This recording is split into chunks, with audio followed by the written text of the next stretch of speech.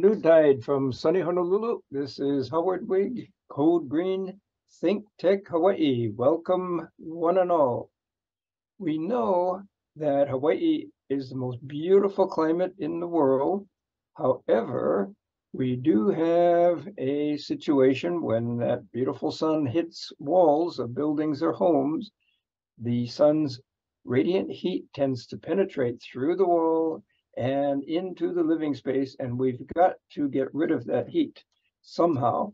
Why not just decrease by a large margin the amount of heat going through that wall? That is exactly what our guest, Gene Rooney, president of Hawaii Architectural Sales, he's the president and owner, and we're going to be talking about vertical exterior walls.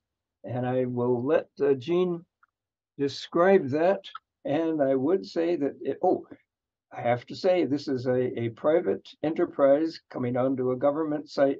We are not endorsing Green uh, products. And we, this is here for strictly educational purposes only. Need to say that. So on that cheery note, please take it away, Gene. Uh, good morning, Howard. Thank you for having me. Yeah, so we are here to talk about uh, ventilated cavity rain screen systems. So uh, a ventilated cavity rain screen system is where you have a airspace between the cladding portion of your walls um, and your structural part of your wall. So um, maybe we could bring up the first slide here and uh, talk about, let, us start by talking about the two portions of a wall. So every wall uh, generally has a structural component to it. Uh, that could be uh, steel gauge framing. It could, could be uh, concrete, it could be hollow tile.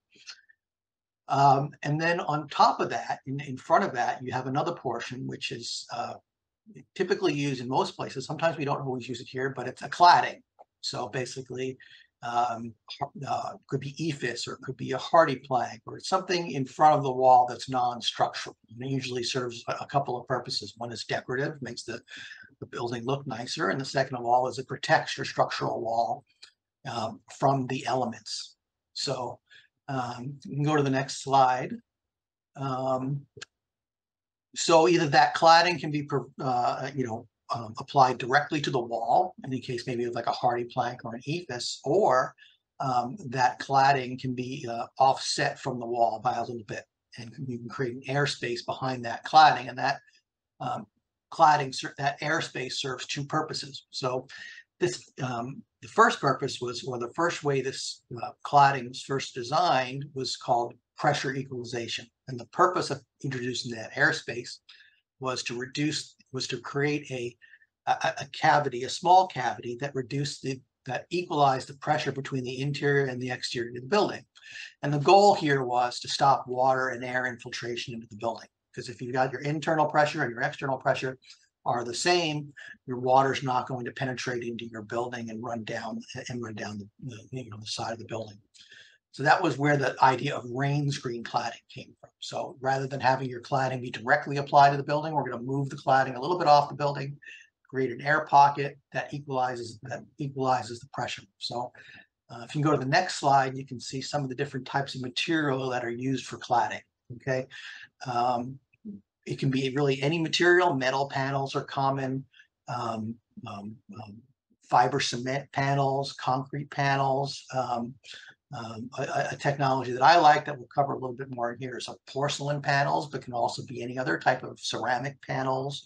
Uh, terracotta is a very popular material used in uh, Europe quite a bit. So the cladding is different from the structural wall. Okay. So if we go down to the next slide, um, it just basically just talks about the cladding is non-structural. It's just aesthetic. It sits in front of the wall. Um, it's it's uh, it's not carrying the loads of the building. All that is done by your your structural wall behind it. Okay, so these rain screen systems um, um, um decrease the amount of uh, de de sorry, decrease the pressure and the amount of air and, and water that go through. Uh, and they do decrease the sun by a little bit. So go down a couple more slides. So um, go down to slide number six. We're going to talk about a ventilated wall system. So the difference between a, a standard uh, pressure equalized system and a ventilated system is we greatly increase the space, okay, between the cladding and the wall. So now we have a ventilated cavity that's also open at the top. So basically, um, this this your cladding now is acting as basically a sunscreen as well as uh, an aesthetic feature because the heat that reaches that cladding uh, is far enough away from the wall that while it may heat up the air in the in the cavity, that air is quickly it hot air rises. So cool air is brought in from the bottom. The hot air quickly rises to the top, and now we are equalizing the the the, the temperature. Okay, so that um, all that solar radiation that uh, you mentioned is now it's heating up the cladding portion of the building, but it's not heating up um, the structural wall. So in the diagram here, you can see a structural wall here.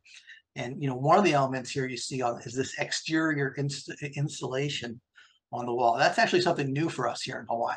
Uh, it's typically um, we had um, insulation. Maybe if we had studs, we had insulation between the studs, or we had a concrete wall or hollow uh, metal wall. That was considered enough insulation.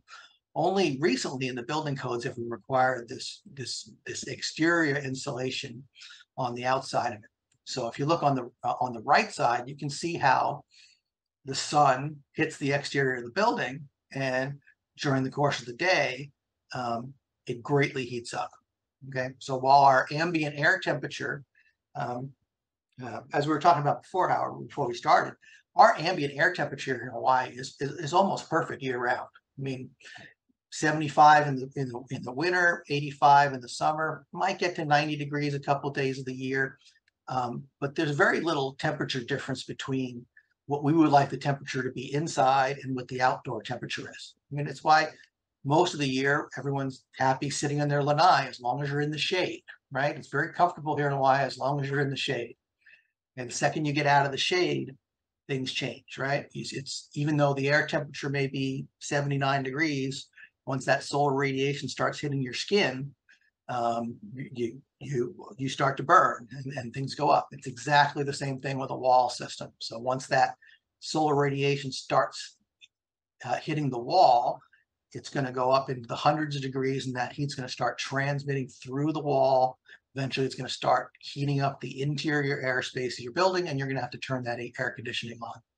Um, or you're going to have to go sit outside in the lanai if you don't have air conditioning.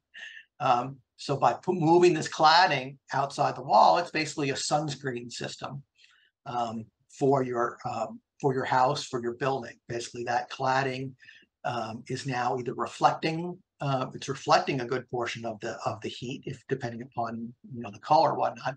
But even if it's not reflecting that heat, it's really only heating up the cat the air in the cavity, okay, between the wall and the cladding and that hot air is going to rise up and out the top before it has a chance to increase significantly uh, in temperature and then translate and then transfer that heat uh, into the building. So that's the, the basic concept uh, of, of a, a ventilated cavity system. Um, you can see here, if you can go to slide, uh, go to slide uh, 10, so you can see this um, you can see this in action here. Basically, the sun is hitting that rain screen system and some of it's reflecting off, but some of it is transmitting through it, but it just goes up and out. Gene, is that what they call the Venturi effect? Where the uh, hotter air automatically rises in a given Yeah, space? yeah, essentially, yeah. Yeah. So that's the, that's, that's basically, yeah, you know, how, how raising cladding systems work. We call it, the on slide twelve, we call it the chimney effect. Uh, Venturi effect, a little more technical name for it, but yeah, it's basically hot air rising, so. Um, and we can use different materials for this and use metal panels. Um, on thirteen, we show a, a honeycomb panel, which also, this is called a double ventilated system because the panel itself has basically got perforations, it's basically got, um, uh, holes in it that allow the heat to, to, again, to dissipate. So the more ventilation, the better. On slide fourteen, you can kind of see what it looks like installed. You can put this material, you can put a cladding material um, on top of any other uh, uh, wall system, regardless of how, the you know, whether it be a, a stud wall or a concrete wall, uh, basically attached with clips. Um, get attached to the material and then get attached to the building. Um, you know, here it shows insulation, which is which is common, uh, and you would definitely want to use that insulation in a cold climate. Uh, you know, the interesting thing about these systems is is they're mostly studied on their effect in cold climates because that's obviously where most of the the energy is spent um, uh, in the United States. It's it's on it's on buildings in northern climates, um, and they're mostly focused on reducing heating costs as opposed to you know we're in a completely different situation here. We're reducing cooling costs. Um, so there's not a lot of study in terms of how it affects that. So um, having the panels here in a way obviates the need for that insulation because if you're now um, if you're if that insulation if that wall is not getting hit by any solar radiation um, that insulation is really not doing too much. Um, that insulation there is designed to slow the transmission of that uh, temperature from the exterior to the interior. But now you know we, we've kept that we've kept the exterior we've stopped that exterior wall that insulation from heating up and now we've got an exterior temperature that's maybe 10 degrees, you know, 10 degrees different from what we want our interior uh, temperature to be.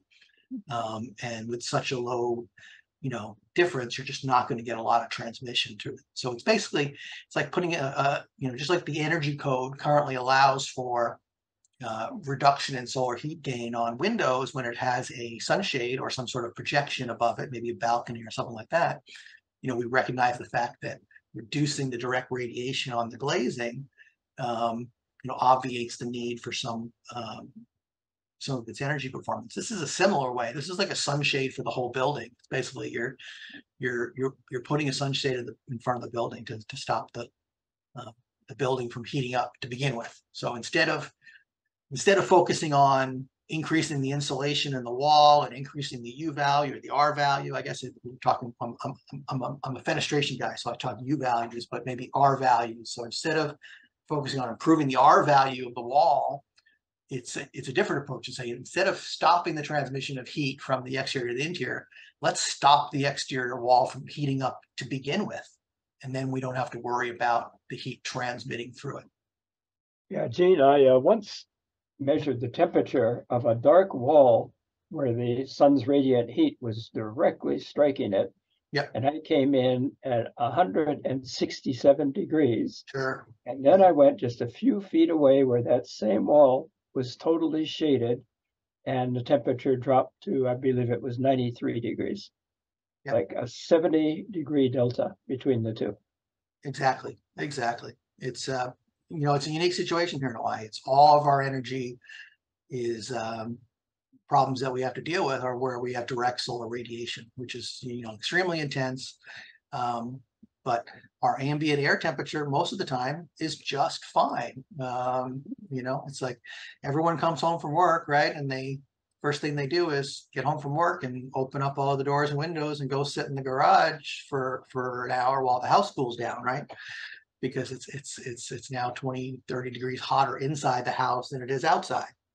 Um, you know the energy target for most people is i just want my house to be as cool inside as it is outside. You know i mean? It's the house would be comfortable if it was the same temperature inside as it is outside. So um, much different situation than even other southern climates. You know we're not las vegas we're not phoenix we're not where we have 120 degree air temperature outside and um, but here's a here's an example of a building that actually has a has a uh, ventilated cavity rain screen system, and this is actually in the West Bank and and in Nazareth in the city hall there.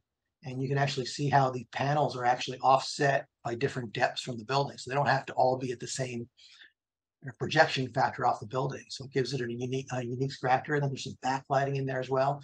So this is basically uh, a rain, basically a, a sunscreen system you know, for the building, um, the whole side of the building. So, and we do this quite a bit too, sometimes with the metal system. Sometimes you see out there with metal, um, vertical sunshade systems and things like that. But it's usually it's usually it's on top of the fenestration, right?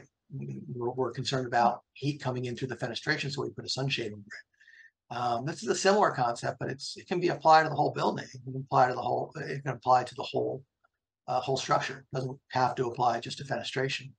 And, it, and it's especially valuable here because, like I said, is we don't once you get that stop that wall from heating up, you don't have hundred and ten degree air temperature outside that's going to continue to heat, you know, heat through the wall, right? You now you've you've lowered that wall temperature to to 80 degrees, some you know somewhere in the 80 degrees, you know, you know, or whatever the ambient air temperature is, you know, outside. We actually, and to your example, it actually the walls would actually be cooler than your example of the 93 degree you know wall in the shade because what's happening here is that we talked about the Venturi effect, the chimney effect. You, you, the cool air is constantly being brought in from the ground level and then being pulled mm-hmm. out the top. So your your cooler air is right near your ground your ground because the cool air falls, the hot air sinks. So you actually have a constant breeze, almost like blowing through that wall, which is even better than having a static, you know, being you know, you have static air. Yeah, Gene, we don't normally think of air as being an insulator, but I'm an energy codes guy, and we reward uh, Oh. buildings that have air instead of the direct radiant heat just passing by. We count that as a form of insulation. Oh yeah, well, I'm, a- I'm, I'm, a- I'm a that might be. fenestration guy, so that's how you know insulated glass works. We basically, Yeah. you know, we introduce an basically a half inch airspace between the, the the glass and has a huge impact on on on U value. So yeah, this is definitely you know similar to that, and and that actually comes into play. If we were in a northern climate, we were if I was giving this presentation in in Chicago, we'd be talking more about how that airspace acts as an insulator. Um, it, it- plays a big part. It, it plays a part here too, but it plays a bigger role when that airspace, that air insulating effect of that airspace plays a bigger role when you're in a northern climate. Like I said, when here we, it's it's uh, you know if we're keeping the air temperature on both sides of that the same, then it's, it's then the insulating if we're close to each other, then the insulating effect isn't as important. What's really important for us is basically that solar heat gain um, you know, stopping that radiant energy from hitting the wall to begin with. Uh, if we can stop that, if we can keep that wall at the 90 degrees instead of going to 160 degrees, I think you said, or something like that, then you don't have to be as concerned about the insulation factor of the wall and how that wall is going to stop that transmission um, through it. And so instead of throwing in, instead of throwing insulation at the problem, um, and in terms of stopping the transmission of this or slowing the transmission of the heat because the, the insulation doesn't stop it, it just slows it, right? So instead of throwing insulation at the problem, it's, it's, it's, a, it's saying, well, let's stop it from heating up in the first place, you know? Mm. So, Yeah, in the energy code, we reward walls that are shaded. You know, you might have a small shade, or the best example in Hawaii would be lanais, where you've got at least ten feet of roof area shading the that wall that's under the lanai, and we reward energy code. We go down way, way down in required insulation, which which saves money. And it makes sense because there's not that direct radiant heat from striking it. Now you are shading virtually hundred percent of Exactly. the walls. yeah, exactly. And it's going to work 100% of the time as opposed to, you know, with a, Mhm. a with a lanai with a projection factor, it's going to work, you know, depending upon, you know, which way it's facing and the time of day. Mhm. you know, some of that energy is still gonna, still gonna hit those walls. So yeah, I would be, uh, I would be interested in seeing how the energy code could, could um, account for this. Well, and also you pointed out that this technology is also a, a decorative or decorative factor too. Sure, yeah, That uh, that Jerusalem wall is just a perfect example. right, right, It it's an architectural uh, feature, as in improving the aesthetics of a building. and there's tons of different materials available for it. I mean, I think, uh, um, you know, that's a porcelain system, but, you know, typically metal panels have been the, the, the predominant material, um, that's been used, but, um, you know, GFRC, uh, uh, is often used, and I think, I think I mentioned terracotta. Um, it's really, you know, up to the imagination of the architect in terms of the material they want to use. Um, Yeah. There's, uh, people can use wood systems and fiber, uh, you know, fiber uh, type systems. And yeah, in the uh, architecture field, we call this passive cooling. Yeah. We just, the design of the building prevents the influx of, of the radiant heat. Yeah. Yeah. Yeah, and it's, um, you know, it's interesting. The slide here I got is I have from the, is from the Middle East. You know, um, you know, one of the companies I work with that makes the porcelain panels does a tremendous amount of work in the Middle East and um, and uh, Africa and uh, and Spain. They're actually based out of Spain, which also has a very hot climate. Um, so there a lot of their work is done um, um, with passive cooling, like you talk about, because that's a um, the, the Middle East is a large market for that sort of design. They're it's a uh, they're very familiar with that concept. Um, so uh, more so, I think, than in the United States or even in Europe. Um, a lot of the architecture there is built around passive cooling concepts. And uh, And here in Hawaii, for very good reason, uh, PV panels or photovoltaic panels are very, very, very popular. And one, of course, it makes electricity, and with the battery stores electricity. But a side effect is the fact that those panels are shading the roof. yeah, absolutely. And if you notice, if you look closely at the panels, they are raised by at least, say, five, if not six inches. And that provides that airflow, airspace under the panel, Yeah. Which is, that's the horizontal equivalent of, of the vertical. Yeah, yeah, that, well, that's critical for the, that's critical for the uh, efficacy of the panels. They gotta keep, they lose their efficiency if they try Mm-hmm. to heat up too much, so you gotta keep your panels cool. And, Yeah. uh, you know, and, and you can even incorporate, you know, solar into your vertical wall panels if you, if you'd like to. Um, uh, use that as a cladding, use your, use that as a cladding material. It's not out of the. Yeah, yeah. Not as, obviously not as efficient as having a horizontal application. You have to maybe on your south wall. um, you know, Um, incorporate that, you know, so Mm. that can be used as well. I mean, the, the material you use is a tremendous amount of options uh, for the material that you can use. The key thing is, is the distance from the wall uh, and all the open joints and the cavities and having it open at the top. Um, and uh, so the air flows. Um, Hmm. Um, and definitely you can use different reflectivities on the panel. I know, you know, the code allows for, uh, based on the reflectivity index of the cladding material, you know, some allowances. Um, and I think people sometimes struggle with, they don't want to have a really bright building, right? Um, in order to take advantage of the, the, um, the code allowances for reflectivity, you kind of have to have a relatively bright color, right? Um, um, but if they want to have a darker color, um, it doesn't really work. Um, whereas this, um, does when when you're that heat isn't making it to the wall anyhow. So Yeah. it's not necessarily that the cladding um, reflects that heat because the panel can still absorb that heat. It's still not going to get transferred to the structural wall. Uh, whereas if that, whereas if that, like you said, that dark, if you're using like a dark fiber cement and it's right on top as you're cladding and it's right on top of your structural wall, you know, it's going to heat up uh, more than if you had like a white cladding, right? Mhm. Uh, the white cladding is going to reflect a lot more of the energy. Um, so we make allowances for that in the code. But in this case, because it's so far off the wall, it really shouldn't matter uh, whether the panel is absorbing or reflecting, you know, that energy. Yeah, again, in, in the, the roofing code, we really, really uh, reward shading Yep. in, in the roof. And there is now the Cool Wall Rating Council. I was instrumental in, in founding that, and we're just getting our really good start. And it's going to be part of code within the next uh, year or so. Right. And certainly, we're going to have to uh, include this as your your technology as one of the uh, the really cool wall factors Yeah, well, I and, appreciate it. and Yeah. reduce the amount of insulation required as a reward for that huge drop in in radiant heat. Right. You know, I have a, I have a, I have a NASA study that was done by NASA uh, that I can send to you. I don't really have it up here, or I can bring it up here. Um, but basically, an independent study done at, uh, done on a uh, uh, a building for NASA in Houston, and looking at their energy as they uh, before and after they put the ventilated cavity uh, on the building. So that would be something for you to take a look at as well.